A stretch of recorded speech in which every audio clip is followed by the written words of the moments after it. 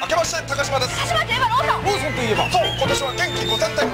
達成します。全国5000のローソンが目指すは地域1万点94で頑張ります。そこで新展開大気ローソンができたんだ。何が？ローソン。便利になるわね。私の。こんにちは。よろしくお願いします。こちらこそ。